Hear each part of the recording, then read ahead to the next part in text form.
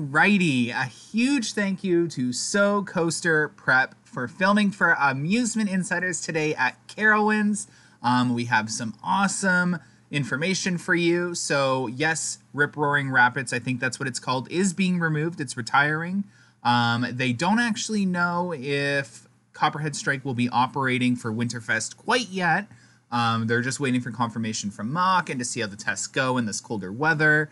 Um, and some various other things. So there's an interview at the end of this video uh, with the head of construction, I think is what is his position. Um, he's going to give you some really awesome information about when the test runs and POVs are going to be filmed.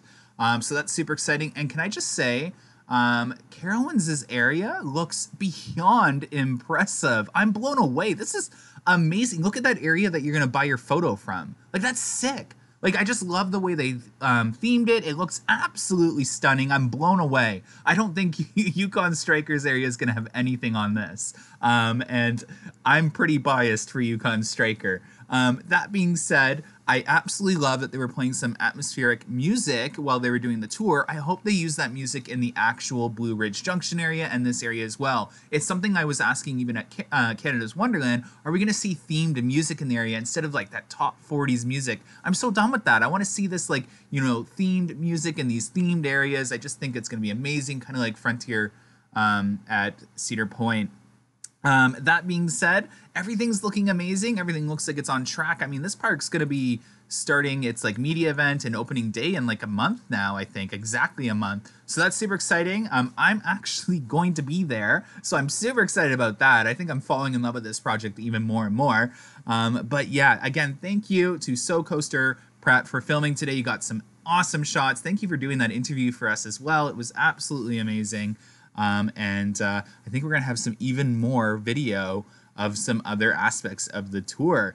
Anyways, hopefully you really enjoyed this quick construction update on Copperhead Strike. Um, and stay tuned for the interview that is going to about to happen. Don't forget to hit that like button, subscribe if you haven't, and share this video for others to enjoy. Hope you're having a great weekend, guys. Bye.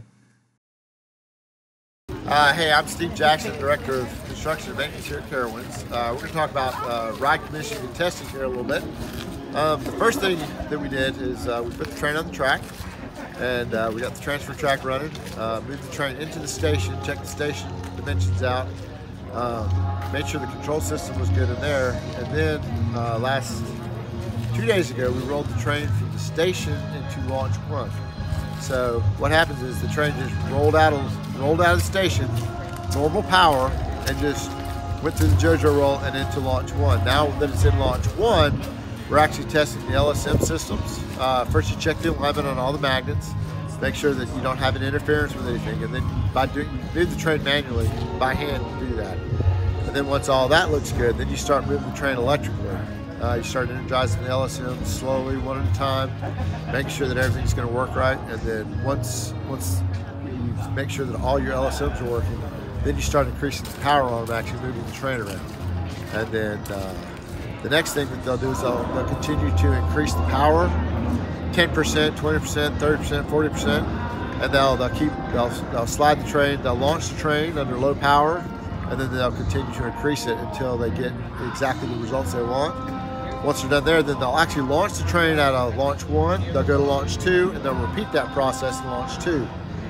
When they're done in launch two, then they'll launch it from there and it'll go back into the station. And at that point, we're ready to start uh, train operations under normal conditions.